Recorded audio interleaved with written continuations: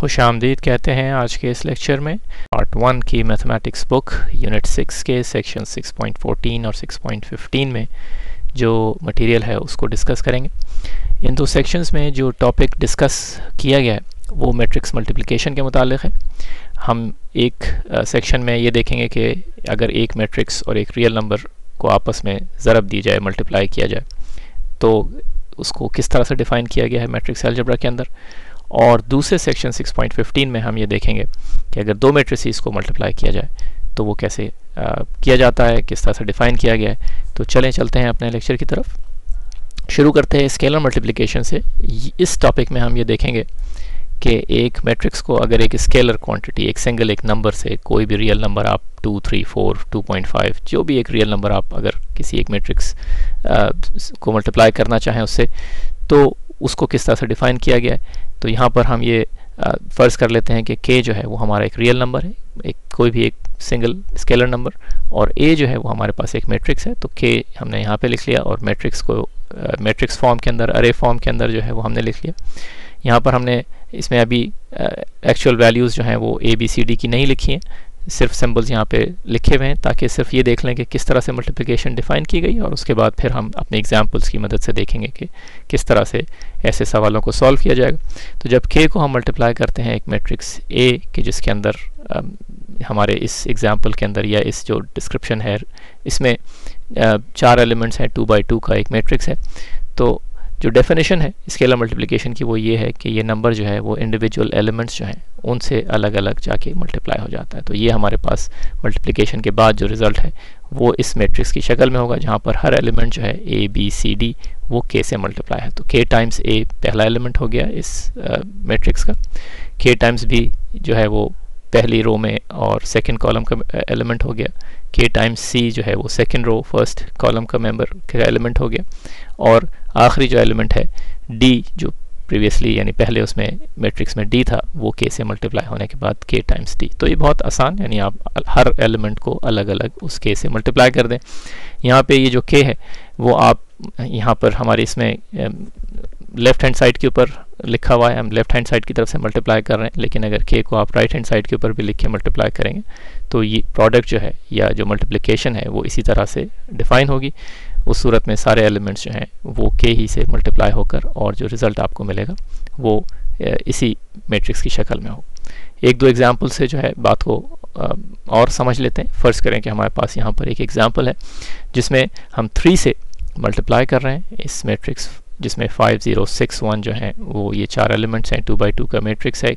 Matrix जो है, वो किसी, उसका ऑर्डर कुछ भी हो सकता है, क्योंकि हमें सिर्फ़ इस स्केलर से मल्टीप्लाई करना है, हर एलिमेंट तो चलें इसको मल्टीप्लाई करते हैं।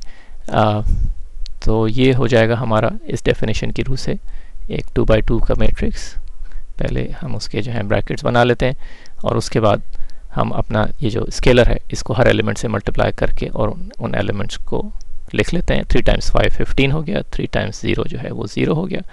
थ्री टाइम्स सिक्स जो है एटीन और थ्री टाइम्स वन थ्री तो ये हमारे पास इस मल्टीप्लिकेशन का रिज़ल्ट जो है, वो इस तरह से हमने कैलकुलेट कर ली अब चलते हैं मैट्रिक्स मल्टीप्लिकेशन यानी वो मल्टीप्लिकेशन जहाँ पे हम दो मेट्रिसेस को, दो कालिबों को आपस में एक दूसरे से ज़रब दे रहे होंगे। देखते हैं कि इसको किस तरह से डिफ़ाइन किया गया है। स्केलर मल्टीप्लिकेशन आपने देखा कि बहुत ही आसान थी। देखते हैं कि दो मेट्रिसेस जब आपस में मल्टीप्लाई किए जाते हैं तो वो किस तरह से ऑपरेशन जो है, वो अंजाम दिया जाता है। तो the multiplication of two matrices is defined only when number of columns of the first matrix is equal to the number of the rows of the second matrix इसको अगर आप पढ़ें तो ज़रा देखने में कुछ, सुनने में कुछ कन्फ्यूजिंग चीज़ लगती है, इसको ज़रा समझने की कोशिश करते हैं। यहाँ पर जो बात कही जा रही है, वो ये कि इससे पहले कि हम दो मेट्रिसेस को आपस में मल्टीप्लाई करना शुरू करें। पहले हमें एक कंडीशन जो है उन दो मेट्रिसेस के ऑर्डर के बारे में वो चेक कर लेनी चाहिए। अगर वो कंडीशन मौजूद ना हो तो आप उन दो मेट्रिसेस को बिल्कुल मल्टीप्लाई करने की कोशिश ना करें, क्योंकि वो दोनों एक दूसरे से मल्टीप्लाई नहीं हो सकते। यूँ कह लें कि वो एक दूसरे कंपैटिबल नहीं है, हम उन्हें मल्टीप्लाई नहीं कर सकते। तो देखते हैं वो कंडीशन क्या है। वो कंडीशन समझने के लिए हम दो मेट्रिसेस ले लेते हैं, एक ए है और एक बी है, और हम यहाँ पे ये दिखा रहे हैं कि हम इन्हें मल्टीप्लाई करने की कोशिश कर रहे हैं। ए को ए और को बी से मल्टीप्लाई कर रहे हैं। ऑर्डर ऑफ़ ए जो है, वो हमारे पास मौजूद है। ऑर्डर ऑफ़ बी भी हमारे पास मौजूद है। देखते हैं कि ऑर्डर ए हमारे पास क्या है। फ़र्ज़ कर लेते हैं कि ऑर्डर ऑफ़ ए जो है, वो एम बाई एन है, यानी एम रोज़ हैं और एन कॉलम्स हैं। इसी तरह से ऑर्डर बी जो है, वो हमारे पास के रोज़ और एल कॉलम्स हैं। के बाय एल का ऑर्डर है बी का। ये कंडीशन हमसे ये कह रही है कि नंबर ऑफ़ कॉलम्स अगर आप इसको ऊपर से देखना शुरू करें तो number of columns of the first matrix जो यहाँ पर एन के बराबर है, वो बराबर होना चाहिए number of rows of the second matrix ठीक है? यानी इन अदर वर्ड्स ये जो एन है हमारे पास, ये बराबर होना चाहिए वैल्यू में, इस के के के जो ऑर्डर ऑफ़ बी में नंबर ऑफ़ रोज को रिप्रेजेंट करता है तो एन बराबर होना चाहिए के के। अगर ये कंडीशन नहीं है इन दो मेट्रिसीज में कि जिनको आप मल्टीप्लाई करने जा रहे हैं तो आप यहीं पर रुक जाएँ और ये ऐलान कर दें कि ये दो मेट्रिसेस जो हैं वो एक दूसरे से मल्टीप्लाई नहीं हो सकते, क्योंकि मैट्रिक्स मल्टीप्लिकेशन डिफ़ाइन ही उस सूरत में की गई है कि जब ये एन जो number of columns of first matrix है, वो बराबर हो number of rows of second matrix के, जिसको हम यहाँ पे मल्टीप्लाई कर रहे हैं। अगर ये कंडीशन नहीं है, ये सेटिस्फाई नहीं होती तो ये दोनों मैट्रिसेस आपस में मल्टीप्लाई नहीं हो सकते। चलें। सब, हम ये फ़र्ज़ कर लेते हैं कि हमारे केस में जो हम कर रहे हैं, उसमें एन जो है वो के के बराबर है। तो उस सूरत में जो हमारा मैट्रिक्स ए और बी को मल्टीप्लाई करने के बाद हासिल होगा, उसका ऑर्डर जो है, वो भी हम बग़ैर अभी मल्टीप्लाई किए हुए मालूम कर सकते हैं। वो जो हमारे पास होगा वो पहले मैट्रिक्स के number of rows by number of columns of the second matrix की सूरत में कैलकुलेट किया जा सकता है। तो order of A cross B या ए टाइम्स बी जो है, वो एम बाय एल के बराबर होगा। तो ये सिर्फ़, यानी बगैर अभी हमने देखा भी नहीं इस बात को कि किस तरह से मल्टीप्लाई करते हैं, हम ये दो चीज़ें जो हैं, वो पहले हमें आसानी के साथ हम मालूम कर सकते हैं। पहली चीज़ तो ये कि क्या ये आपस में मल्टीप्लाई हो सकते हैं। उस सूरत में हमें जो अभी हमने कंडीशन डिस्कस की वो देखनी होती। और हम ये भी बता सकते हैं कि जब ये मल्टीप्लाई हो जाएँगे तो जो हमारे पास प्रोडक्ट मैट्रिक्स होगा उसका ऑर्डर जो है वो क्या होगा? तो उसका जो ऑर्डर होगा वो पहले के हम नंबर ऑफ़ रोज़ और दूसरे के नंबर ऑफ़ कॉलम्स को अगर हम इस सूरत में लिख लें तो ये होगा हमारा उस प्रोडक्ट मैट्रिक्स का ऑर्डर अब चलते हैं। आ, कुछ एक दो एग्जांपल्स देख लें पहले उसके बाद फिर हम देखेंगे कि ये मल्टीप्लिकेशन आखिर की किस तरह से जाती। तो यहाँ हमारे पास एग्ज़ाम्पल में ये दो मेट्रिसीज दिए हुए हैं। सबसे पहले ये देखें कि ये जो मेट्रिसीज हैं ये क्या मल्टीप्लाई हो सकते हैं या नहीं हो सकते, ठीक है?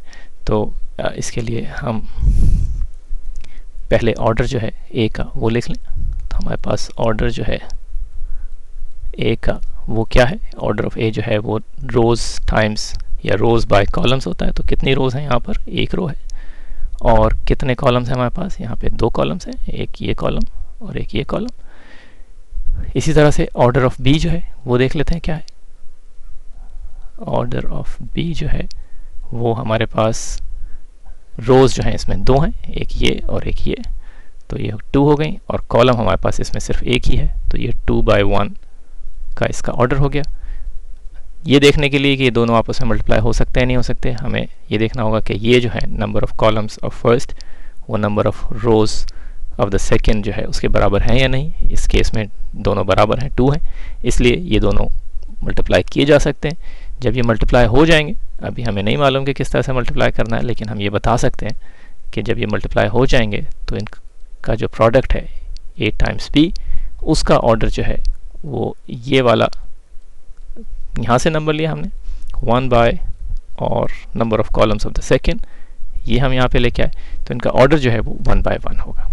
अभी थोड़ी देर में ये भी देख लेंगे कि हम ये कैसे करेंगे। एक और एग्जांपल थोड़ी सी ज़रा कॉम्प्लेक्स देख लेते हैं, जिसमें ज़्यादा बड़े ऑर्डर के हमारे पास मेट्रिसीज हैं ए और बी ये देखना है कि आपस में मल्टीप्लाई हो सकते हैं या नहीं हो सकते। वही काम यहाँ पर करेंगे कि हम इनको पहले एनालाइज करेंगे, देखेंगे कि इनके ऑर्डर क्या है। तो ऑर्डर ऑफ़ ए जो है, वो टू बाई टू है। हमें नज़र आ रहा है, दो रोज़ हैं, दो कॉलम्स हैं। ऑर्डर ऑफ़ बी जो है वो जो है हमारे पास, वो भी टू बाई टू है। और ये आसान, हमारे पास एक एग्जांपल साबित हुई क्योंकि बहुत आसानी के साथ आप ये देख सकते हैं कि ये जो है number of columns of first जो है, वो number of rows of second के बराबर है। तो ये दोनों यकीनन एक दूसरे से मल्टीप्लाई हो सकते हैं और order of A cross B जो है, वो भी हम बसानी देख के ये बता सकते हैं कि वो टू बाई टू होगा। क्योंकि number of rows of first and number of columns of second जो है वो दोनों टू के बराबर हैं। तो मल्टीप्लाई होने के बाद हमें एक स्क्वायर मैट्रिक्स जो है टू बाई टू का वो मिलेगा। चलें, अब मेथड की तरफ़ देखते हैं। मेथड के लिए हम यही दो एग्जांपल्स यूज़ कर लेते हैं और आसान दो जो है मेट्रिसीज से शुरू करते हैं। दोनों कॉलम मेट्रिसीज हैं। एक एक रो वेक्टर है और एक कॉलम वेक्टर है। तो सबसे पहले जो मल्टीप्लिकेशन में किया जाता है कोशिश करें कि आप फॉलो करते रहें इसको। आ, हम सबसे पहले पहला जो मैट्रिक्स है हमारी मल्टीप्लिकेशन में यानी हम ए लिख लेते हैं हम यहाँ पर। हम जो चीज़ करने जा रहे हैं वो ए टाइम्स बी कैलकुलेट कर रहे हैं ए क्रॉस बी तो सबसे पहले जो पहला हमारे पास मैट्रिक्स है इस मल्टीप्लिकेशन में ए उसकी रोज़ पहली रो को देखेंगे यहाँ पर एक ही रो है तो उस रो को हमने देखा। फिर उसके बाद हम इस रो को जो दूसरा मैट्रिक्स है, उसके कॉलम से कुछ ऑपरेशंस हैं कि जो हम इस पर परफॉर्म करेंगे और वो हम दिखाने जा रहे हैं। लेकिन सबसे पहले मार्क करें पहले मैट्रिक्स की रो को और दूसरे मैट्रिक्स की कॉलम को और उसके बाद अब इनके इंडिविजुअल एलिमेंट्स को देखना शुरू करें। हम जो है, वो पहला एलिमेंट पहली रो का पहले एलिमेंट जो पहला कॉलम है, उसके साथ मल्टीप्लाई होगा। तो हम यहाँ पे इसको लिख लें। ये ए टाइम्स बी जो है, ये हो जाएगा हमारे पास थ्री टाइम्स वन फिर उसके बाद प्लस सेकेंड एलिमेंट पहले का सेकेंड एलिमेंट दूसरे से मल्टीप्लाई होगा टू टाइम्स फाइव और ये हमें वैल्यू मिल जाएगी। इसको हम पहले कैलकुलेट कर लेते हैं। ये वैल्यू हो गई हमारी three times one three two times five is ten thirteen ठीक है? और अभी हमने जैसे आपसे कहा था कि हमने पहले रो और पहले कॉलम को देखा और ये हमने काम किया उसके साथ कि पहले एलिमेंट को पहले एलिमेंट के साथ मल्टीप्लाई किया plus product of second element हमारे पास रो जो है आ, एक ही थी कॉलम एक ही था। इसलिए अब हमारे पास जो हम वो पेयर बना रहे थे rows from the first columns from the second एक ही हम पेयर बना सकते हैं। एक रो को पहले मैट्रिक्स से एक कॉलम जो हमारे पास दूसरा मैट्रिक्स है उसके साथ। इसलिए अब हमारे पास मज़ीद और कोई काम आ, हमें नहीं करना। तो ये जो थर्टीन है ये ही हमारे पास जो है ये इस प्रोडक्ट का रिज़ल्ट हो गया। यानी हमारे पास ए क्रॉस बी जो है वो एक मैट्रिक्स होगा।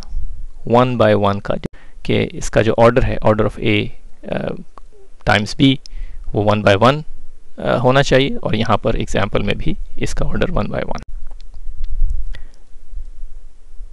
यहाँ पर एक मज़ीद एग्ज़ाम्पल जो है ज़्यादा लार्ज मेट्रिसीज़ के साथ ऐसे मेट्रिसीज़ के जिनका ऑर्डर बड़ा है उनके साथ देखते हैं।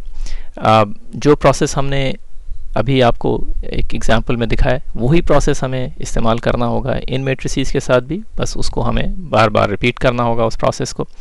यही काम जो हमने पहले किया वही यहाँ पर भी करेंगे। सबसे पहले हम जो पहला वाला मैट्रिक्स है हमारी प्रोडक्ट के अंदर ए उसकी रोज़ को देखेंगे और उनके साथ पेयर बनाएँगे जो सेकेंड मैट्रिक्स है उनके कॉलम्स के। और यहाँ पर हम आपको ये इलस्ट्रेट कर देते हैं हाईलाइट करके कि पहला जो मैट्रिक्स है उसकी रो जैसे ये यहाँ पर नज़र आ रही है आपको। ये वन टू एलिमेंट्स जो हैं, ये पहली रो के अंदर हैं। इसका पेयर बनाएँगे पहले दूसरे मैट्रिक्स के फ़र्स्ट कॉलम के साथ। और वही काम जो हमने पहले किया था कि फ़र्स्ट एलिमेंट को मल्टीप्लाई करेंगे फ़र्स्ट एलिमेंट से दूसरे मैट्रिक्स के। सेकेंड में एलिमेंट जो है आ, पहली रो के अंदर उसको मल्टीप्लाई करेंगे। सेकेंड एलिमेंट जो है हमारे पास इस पहले कॉलम के अंदर और दोनों जो हमारे पास प्रोडक्ट्स हैं उनको आपस में ऐड कर देंगे। तो one times seven plus two times five जो है वो हमारे पास वैल्यू आ जाएगी जिसको हम नए मैट्रिक्स जो हम ए टाइम्स बी की सूरत में कैलकुलेट कर रहे हैं। उसका एक एलिमेंट जो है वो इस तरह से हासिल होगा। फिर उसके बाद हम इसी रो को दूसरे कॉलम के साथ एक उसका पेयर बनाएँगे। क्योंकि हमारे पास मज़ीद कॉलम्स हैं। पिछली एग्ज़ाम्पल के अंदर हमारे पास सिर्फ़ एक ही कॉलम था, इसलिए हम रुक गए थे। लेकिन यहाँ पे हमारे पास मज़ीद एक कॉलम और है। तो यही रो जो है, उसके साथ वही काम हम इस दूसरे कॉलम के साथ करेंगे कि one times nine plus two times six अब मज़ीद आगे चलते हैं, क्योंकि हमारे पास मैट्रिक्स ए के अंदर एक रो और है तो हम पहले उसको सेलेक्ट करेंगे और उसके पेयर बनाना शुरू करेंगे दूसरे मैट्रिक्स के कॉलम्स के साथ। तो यहाँ पर ये थ्री फोर और पहला कॉलम वही काम थ्री को मल्टीप्लाई करेंगे सेवन से प्लस फोर को मल्टीप्लाई करेंगे फाइव से। इससे हमें एक एलिमेंट मिल जाएगा अपने प्रोडक्ट मैट्रिक्स का, क्योंकि हमारे पास एक कॉलम और है। तो यही काम हम इस रो के साथ और इस दूसरे कॉलम के साथ करेंगे three times nine plus four times six तो हम इस प्रोसेस को जो है अब अप्लाई करके और यहाँ पे इसका सोल्यूशन जो है वो भी कैलकुलेट कर लेते हैं। तो हमारे पास ए टाइम्स बी जो है जैसे हमने आपको बताया कि सबसे पहले हम पहले आ, चलते हैं इसको हम वैसे ही सेलेक्ट कर लेते हैं कि हमारे पास पहली रो पहला कॉलम दूसरे मैट्रिक्स का तो वन टाइम्स सेवन सेवन हो गया plus two times five ten हो गया।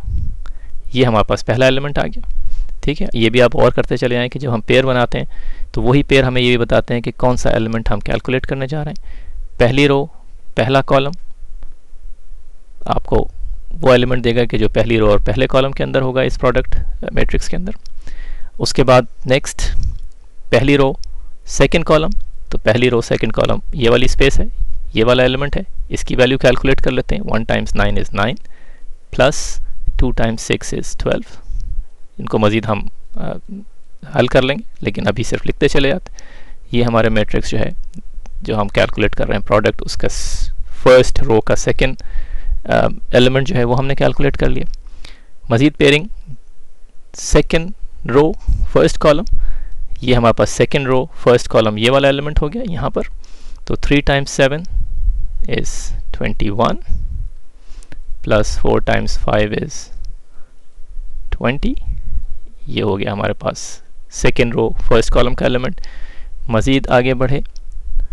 पेयर बनाया second row second column three times nine is twenty seven plus four times six is twenty four और यहाँ पर हमारा जो है ये प्रोसेस कंप्लीट हो गया। अब हमें इसको सिर्फ़ सिंप्लीफाई करके और इनकी वैल्यूज़ जो हैं वो लिख लेनी है। वो हम लिख लेते हैं।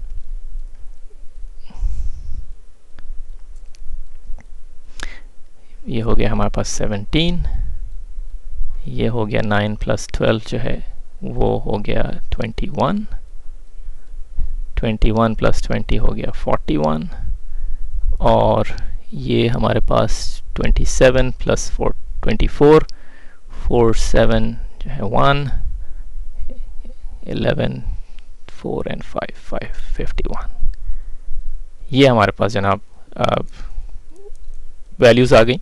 या मैट्रिक्स के जो प्रोडक्ट मैट्रिक्स है, दो मैट्रिक्स का ए और बी उम्मीद है कि जो प्रोसेस हमने फॉलो किया है, वो आप आसानी के साथ फॉलो करके और मैट्रिक्स मल्टीप्लिकेशन के सवाल हल कर सकेंगे। यहाँ पे जो हमने काम किया, वो कुछ एग्जांपल्स की मदद से आपको इसको दिखाया है। अगर इससे ज़्यादा बड़े मेट्रिसेस जो हैं मसन थ्री बाई थ्री के या किसी और ऑर्डर के आपको दिए जाएँ, यही प्रोसेस हमको इस्तेमाल करना है। एलिमेंट्स को मल्टीप्लाई करना है और आपस में ऐड करते चले जाना है। पहले मैट्रिक्स की रोज़ को पेयर बनाने हैं, दूसरे मैट्रिक्स के कॉलम्स के साथ।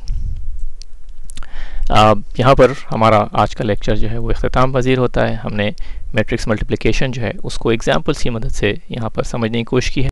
चलें, आप जाइए, जाके मज़े कीजिए, फिर दोबारा मिलते हैं किसी लेक्चर में।